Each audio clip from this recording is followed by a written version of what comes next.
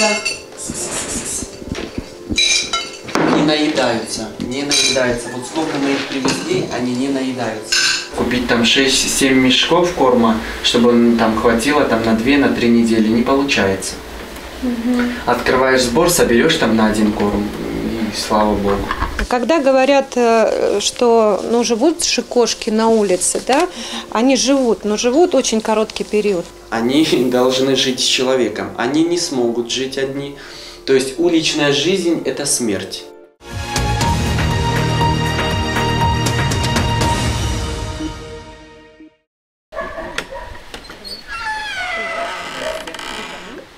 Анар Баширов живет в Черкеске, учится на спасателя. И хотя он пока только готовится профессионально помогать людям, на его счету уже не один десяток спасенных жизней. Почти четыре года Анар заботится о бездомных животных, подбирает на улицах, лечит, кормит и старается найти им хоть какой-то дом. Люди э, как бы звонят неравнодушные, ну мы не можем отказать, берем животных, э, сразу же возим к ветеринару, делаем все назначение и сюда попадают вот в таком вот состоянии. Лечим здесь, пристраиваем. Ну пристройства у нас, конечно, нету. Никто у нас не берет, никому они не нужны. Вот даже вот веслоухие кошки у нас есть, никто не берет. Породистых никто не берет. Сколько кошек сейчас тут? На данный момент у нас в приюте 78 кошек. Приют – это скорее образно. Анар и на пару с другими добровольцами, и сам не раз обращался к местным властям, но бюджетных средств для питомника так и не нашлось. Зато нашелся добрый человек, разрешивший на какое-то время разместить беспризорных животных в доме, где пока никто не живет. Идеальными условия, конечно, не назовешь, но здесь этим четвероногим гораздо лучше, чем на улице, где по статистике бездомные кошки и собаки живут не больше двух лет. Они гибнут под колесами автомобилей, умирают от инфекций, травм, голода и людской жестокости. Все-таки это домашние животные. Они должны жить с человеком. Они не смогут жить одни. То есть уличная жизнь – это смерть. Это смерть для кошки, для, даже для собаки. То есть если собака большая, то все. Ее или отравят, или убьют, застрелят. То есть они не выживут на улице. То есть лето они да, как-то прожили, кого-то машина сбила, кто-то от инфекции умер, а зимой просто они все погибнут, они не смогут жить, потому что у нас люди даже бывает закрывают э, продухи в подвалы, то есть животным уже некуда идти, они просто погибают. В доме несколько небольших комнат. Есть возможность разбить животных на группы, отделить взрослых от малышей, больных от здоровых. Полностью здоровые животные – редкость. Практически всегда попавший к канару зверь нуждается в срочной ветеринарной помощи с последующей реабилитацией. Все вот, вот такие, это еще обросло, она была вообще лысая-лысая. Вот, дальше. Вот этот котик тоже лечится на реабилитации, как бы глаза вот гноятся, вот глаз спасли, если бы вот не капали бы, не мазали бы, то есть глаз бы был бы потерян. Лечение, длящееся порой месяцами, вакцинация, стерилизация и прочие процедуры – все это стоит немалых денег. Сборов, что проводит Анар на страницах в соцсетях, едва хватает покрыть минимальные расходы. Животных в большой степени лечим в Ставрополе и ну, открываем также сборы на дорогу, на лечение. Едем в большой степени в Ставрополь. Если экстренные животные, то только в Ставрополь. Если же животное, ну, как бы можно вылечить в городе, ездим как бы в городскую клинику. Лечение, конечно, обходится нам очень дорого для волонтеров. эм, Конечно, это очень сложно, потому что волонтерское движение – это движение, где немного средств, и ну, ветеринары нас понимают, делают максимальные скидки. Ну, вот как-то вот так. А задолженность есть у тебя сейчас какая-нибудь перед клиникой? Задолженность у нас есть. Две, даже в три клиники. В одной клинике по 9 тысяч, в одной клинике э, 3 тысячи. А, Еще частным клиникам мы тоже должны там по 3, по 4 тысячи, как бы тоже долги у нас есть.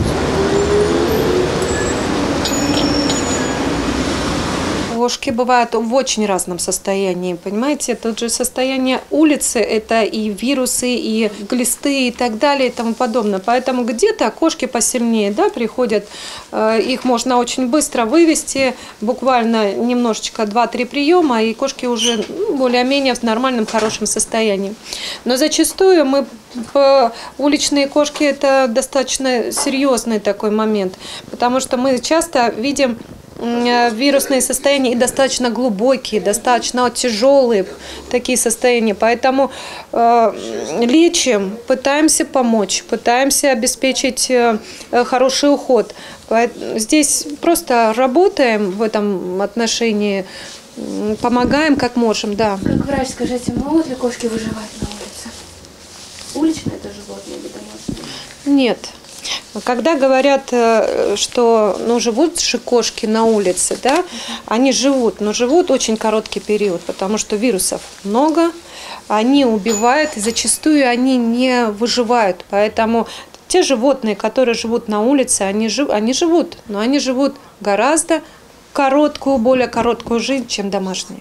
Все кошки здесь очень разные. Ласковые, своенравные, пугливые и игривые, веселые и грустные. И у каждой за спиной своя непростая судьба, полная боли и страданий.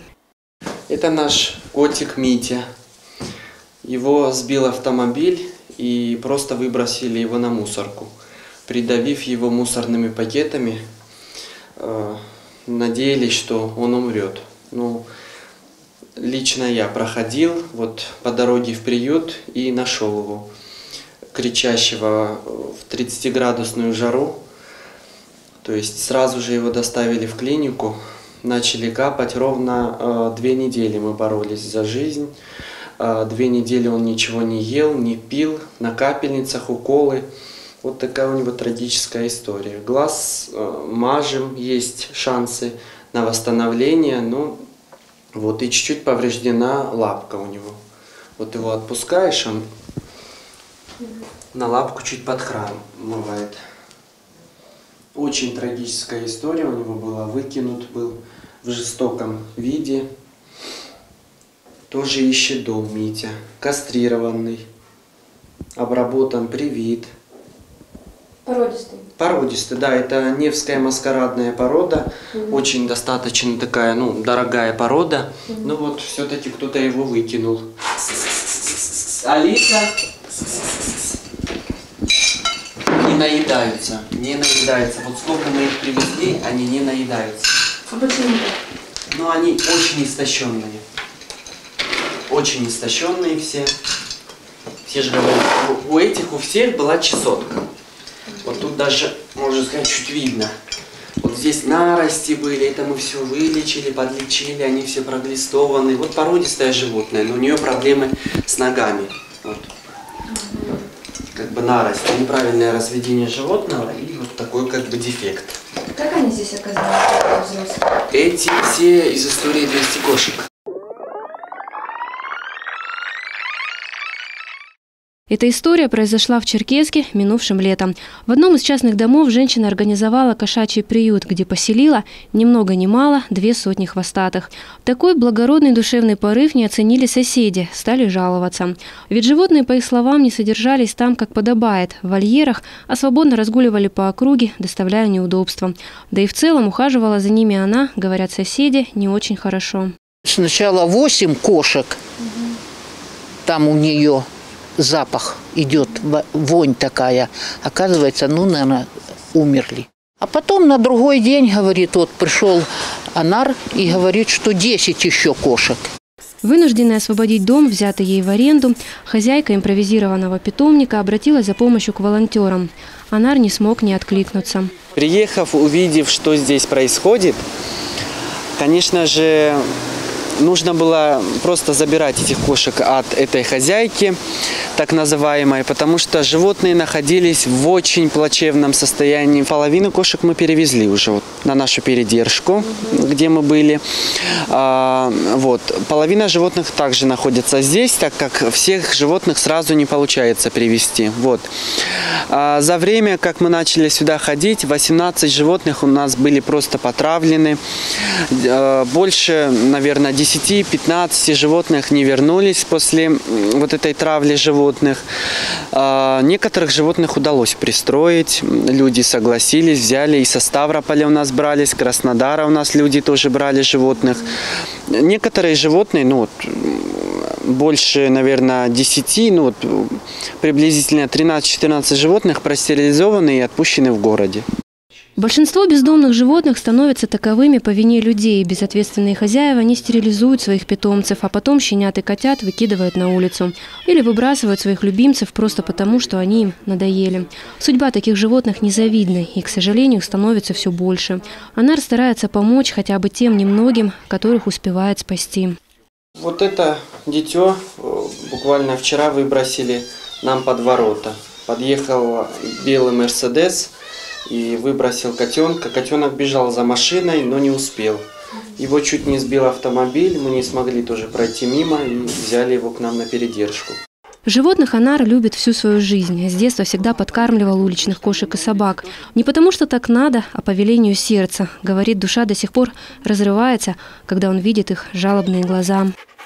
У нас на попечении сейчас находятся не только кошки, находятся и собаки. У нас э, в данный момент находится э, 8 взрослых собак и щенки. Э, и двое, получается, у нас еще на стационаре в Ставрополе.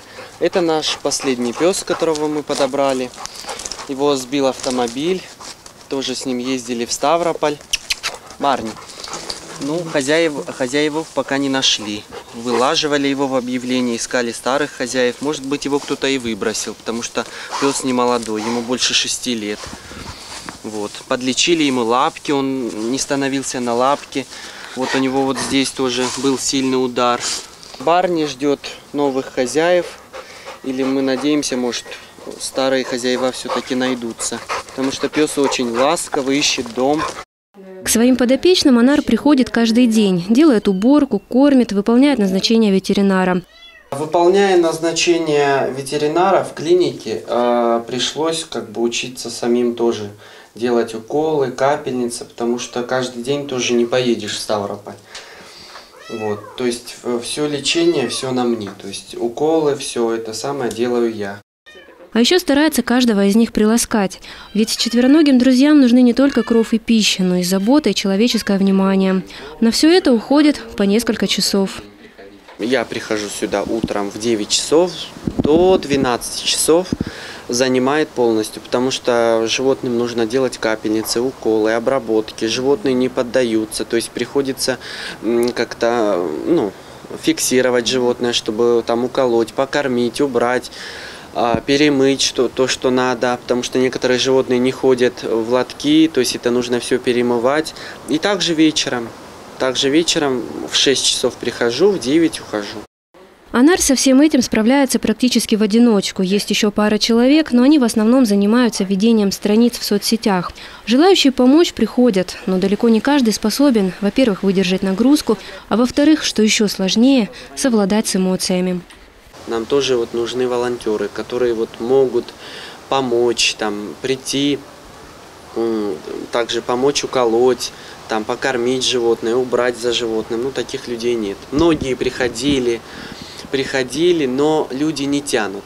То есть приходят, ну просто не выдерживают, слабонервные, э, слабонервные как бы люди и просто уходят. Ну, то есть жалко становится людям, да? Да, людям жалко, но я думаю, что эта жалость не спасет мир. Потому что все-таки нужно себя перебороть и помогать четвероногим. У общества защиты животных «Белый клык», которое организовала НАР, есть свои аккаунты в социальных сетях. Там публикуются отчеты о расходовании собранных пожертвований, объявления о пристройстве животных, разные новости из жизни подопечных. Там же указана информация для тех, кто желает оказать поддержку. Она хвостатым очень нужна. Клетки, корм, средства гигиены, лекарства.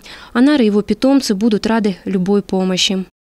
У меня сбор почти каждый день сборы минимальные. Купить там 6-7 мешков корма, чтобы там хватило там на 2 на 3 недели, не получается.